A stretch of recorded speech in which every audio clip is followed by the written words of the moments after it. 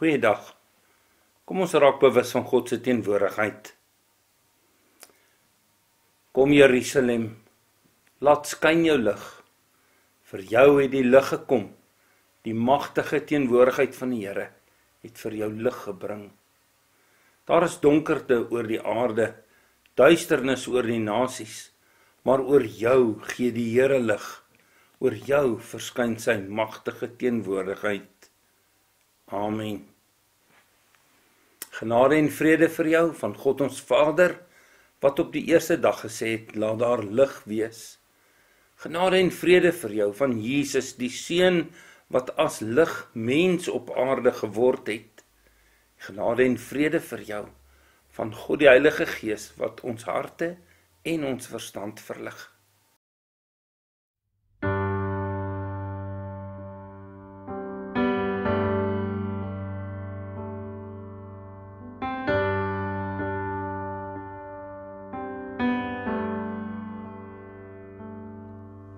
Genade onbeskryflik groot het u aan my bewys.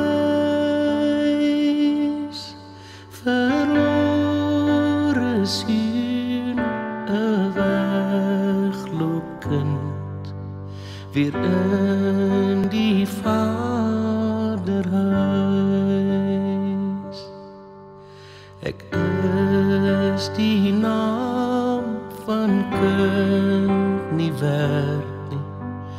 Wou self my sake reel My lewe kanse tyd en geld Is nutteloos verspiel Ek is bevry,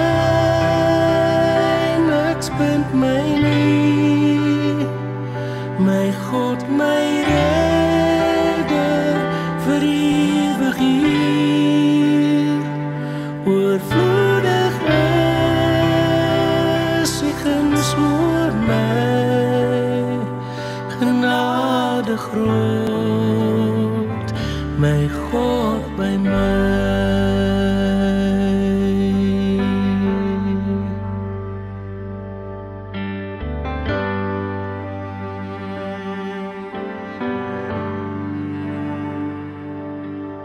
Verseker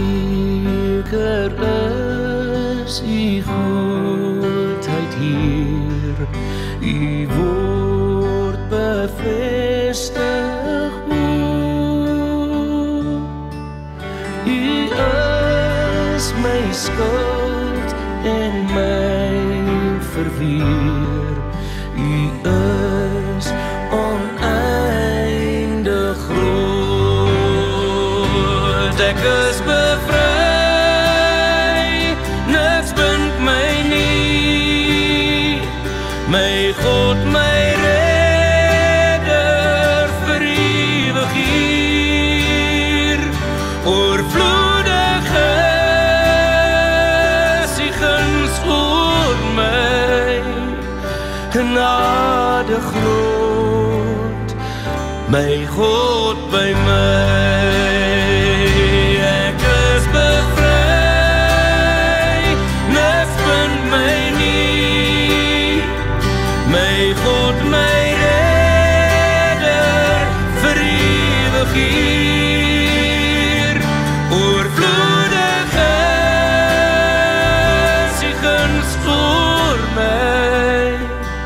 Genade groot, my God by my.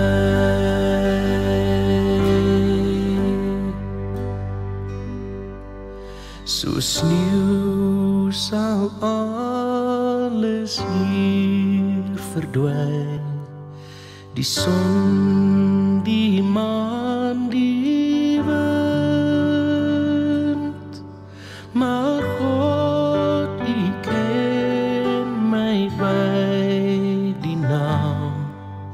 en beloof ek bly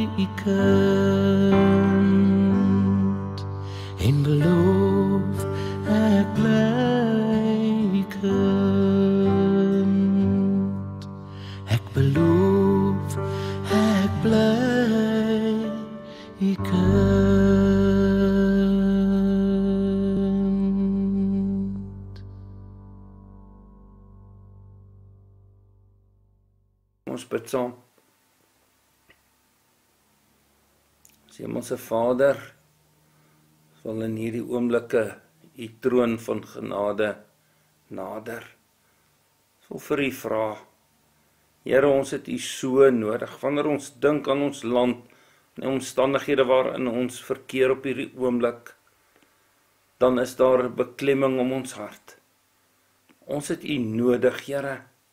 Feitelik elke dag is daar 'n plaasaanval mense wat seer gemaak word, mense wat gemartel word, weerloos is, bejaardes, vrouens, kinders. En dit voel vir ons asof dit net al erger en erger word. Here, ons leef in 'n tyd in 'n land waarin ons U dringend nodig het. 'n herlewing dringend nodig het. Manne en vroue wat leiding kan neem, rigting kan gee. In U naam kan opstaan en 'n verskil kan maak. Daarom wil ons vir U bid. Here, hierdie oomblikke wat ons so rondom U woord bymekaar kom, is nie sommer maar net nie. Dis nie sommer maar net gou-gou Bybel lees en bid en dan gaan ons weer aan met ons gewone werk nie kom en verander ons, bemoedig ons, versterk ons, bemagtig ons. Ons het dit so nodig. Dankie dat ons dit van U kan bid en dat ons met verwagting daarna kan uitsien dat U dit sal doen. In Jesus se naam. Amen. Ons is op die oomblik besig met Debora. Ons lees uit Rigters 4. Ons gaan vandag Rigters 4 vers 12 tot 16 en 5 vers 19 tot 22 lees. Rigters 4 vers 12. Daar is aan Sisera vertel dat Barak seun van Abinoam na Taborberg toe opgetrek het. Sisera het toe sy 900 strydwaans al sy manskappe van die Geroset Goyim af laat kom en na Kison spruit toe. Toe sê Debora vir Barak: "Trek op, want vandag gee die Here vir Sisera in jou mag oor. Die Here gaan voor jou uit." Barak het toe van die Taborberg af opgegaan afgegaan en die 10000 man het hom gevolg.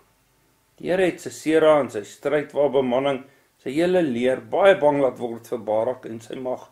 Sisera het van sy strydwa af afgespring en te voet gevlug. Barak het die strydwaans en die leer agterna gesit tot by Geroset Goyim en die hele leer van Sisera is afgemaai. Daar het nie een van hulle oorgebly nie. En dan uit Hosea 5 uit iets omtrent dieselfde veldslag. Konings het gekom, hulle het geveg. Die konings van Kanaan het geveg by Taanak by Megiddo se waters, maar hulle het nie silwer bytgemaak nie. Uit die hemel het daar sterre geveg. Uit Libane het hulle teen Sisera geveg. Die Kison rivier het die vyand meegesleer. Die Kison rivier, die rivier uit die voortyd. Hou moed, wees sterk. Die perde het met hulle hoewe gekap, die sterkes het in jag galop voortgestorm tot daar ons skriflesing. Ons het Vrydag ook die eerste gedeelte uh nagedink oor Debora se lewe en hoe sy as rigter as profetes opgetree het. In hierdie tyd is Israel gekonfronteer met 'n formidable vyand, die Kanaaniete. Sisera, die aanvoerder van die Kanaanietiese leer, 900 strydwaans gehad waarmee hy die Israeliete kon intimideer. Dit was aan die begin van die Eystertydperk in die Midde-Ooste wat beteken die Kanaaniete het regtig 'n uh, eh, tegnologies gevorderde strydwaans gehad van yster en hulle kon nie hulle kon wapens van yster maak wat baie beter was as die brons waarvan Israel se wapens gemaak is. Hulle daar was 'n groot skaarste aan goeie sterk wapens En dit was vir Israel menslik gesproke nie moontlik om teen Sisera teen Sisera in opstand te kom nie. Dit het die Israeliete baie bang gemaak. Hulle het traag geraak om te reis, selfs tussen dorpe. As hulle ergens gereis het, ehm um, as hulle nie anders kon nie, het hulle ompaaie gebruik. Die lewe buite die stede van Israel het gekwyn en agteruit gegaan. Ons het Vrydag daarvan gesien. Boere het in sulke omstandighede swaar gekry en hulle kon nie hulle lande bewerk as hulle wou nie. Hulle het langs bergstroompies in grotte, ander ontoeganklike plekke gaan bly. Hulle het regtig wegkruip lewens gelei. En dan lees ons van Debora. Debora was hierdie formidable vrou. Sy was 'n leier van die volk. Sy was 'n regter. Sy het geskille tussen die volk bygelê. Daar waar sy onder die Debora palm in die Efraimsgeberge tussen Rama en Bethel gesit het. Die palm is inderdaad na haar vernoem vanweë haar besondere regspraak. As profeet het sy God se wil vir die volk uitgelê. En in daardie swaar tyd wat 20 jaar lank geduur het, 'n tyd waar vrees en wanhoop geheers het, tree sy op as 'n moeder van Israel. Lees ons hier in Hoofstuk 5 vers 7. Sy lei die volk na rus en vrede. Met moederlike sorg hou sy die wag oor die volk. Sorg sy dat God se belofte van oorwinning vir hulle waar word. Haar naam beteken letterlik heuning by. En soos 'n koningin by het sy alles rondom haar beïnvloed. Let op hoe sy te werk gaan. Haar vertroue in God het die mense om haar met geloof gevul. Sy het gewerk met die visie wat God haar gegee het dat dinge anders kon wees. En hierdie visie het lewenskrag ingeblaas in 'n volk wat vasgevang was in 'n wanhoopige siklus. Die tweede plek kon sy aanpas by die weifelende Barak en dit sy hom moed ingepraat om ten spyte van sy vrees die Israeliete in oorlog in te lei. Sy kon strategies dink onder leiding van die Here deur die Kisonspruit te kies as die plek waar die geveg sou plaasvind. En so sonder dat sy 'n swaard optel, bewerk sy op die ou einde 'n klinkende oorwinning vir Israel. Die veldslag vind plaas in die Kisonspruit. Interessant dat die verhaal in hoofstuk daar net gesê word dat die Here se Sera en sy hele leer baie bang vir Israel laat word het.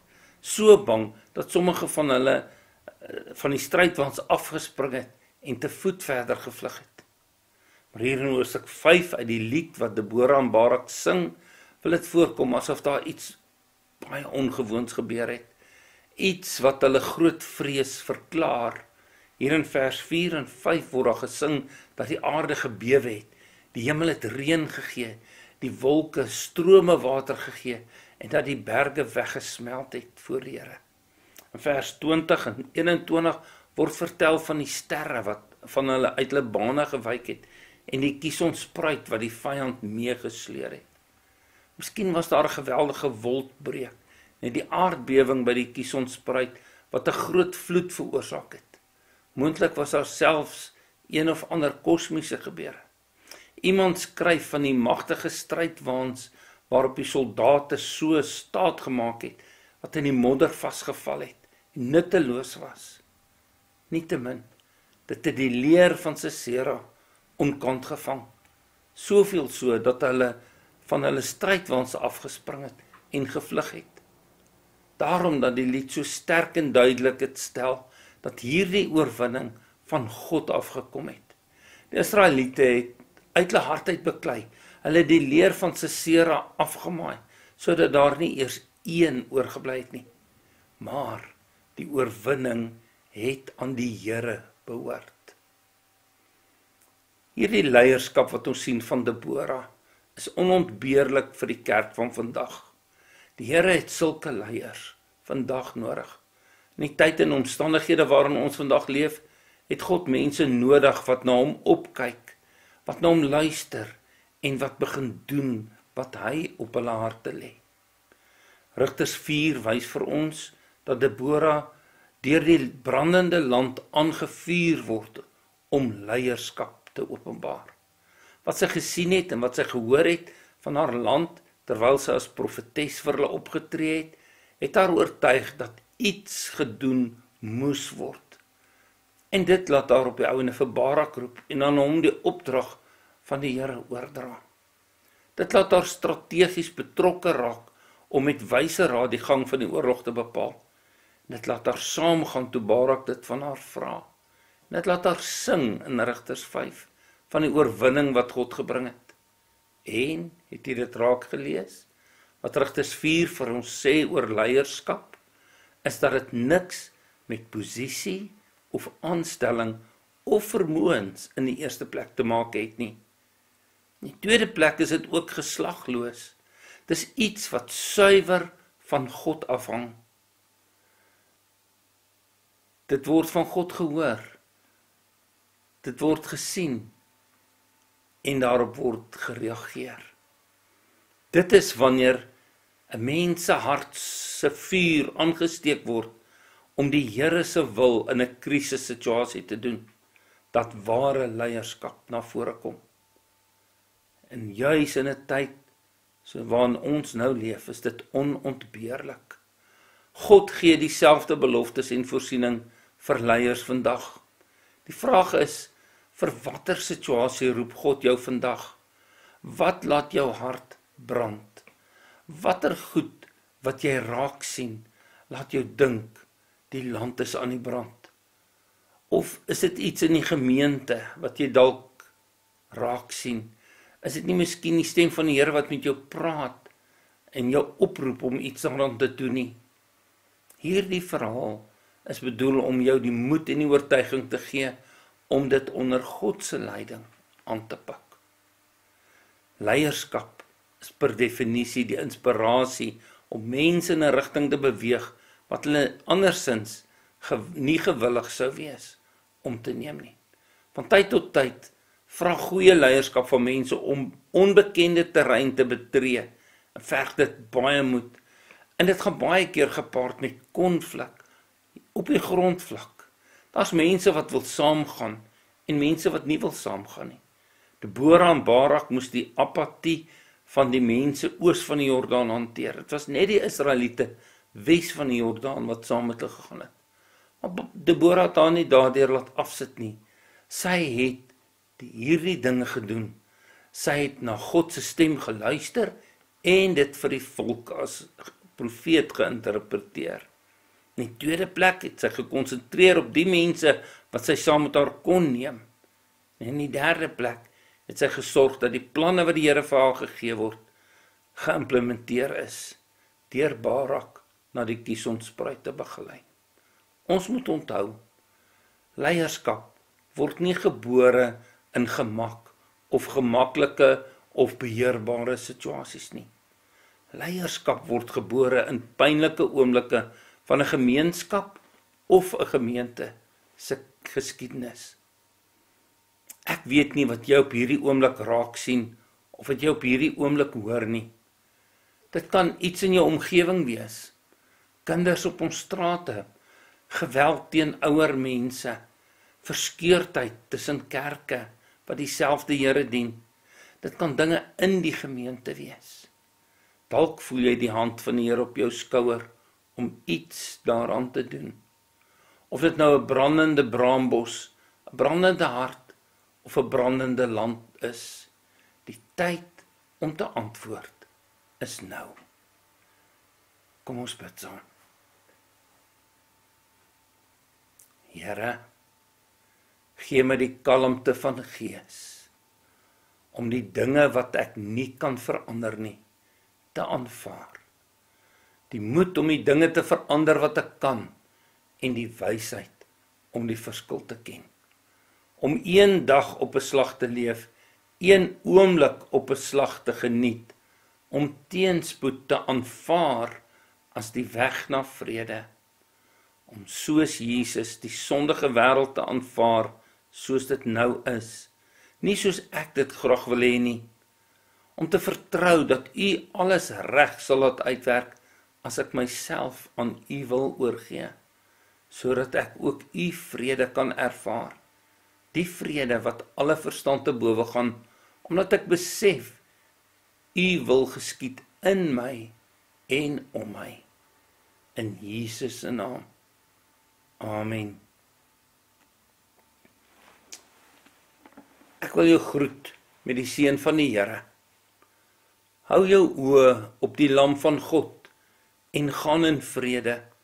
Onthou, God hou jou in die palm van sy hand. Hy het jou lief met 'n grenslose, ewigdurende liefde. Dien God met blydskap. Dien jou naaste met liefde. Dien jou geliefdes met dankbaarheid en dien jouself met vriendelikheid en sagtheid. Die liefde van die heilige God, ons Vader, omvou jou van alle kante. Die liefde van ons verlosser, Jesus Christus, verlos jou en maak jou vry. Die liefde van die Heilige Gees bly in jou en bemagtig jou nou elke tree tot in ewigheid. Amen.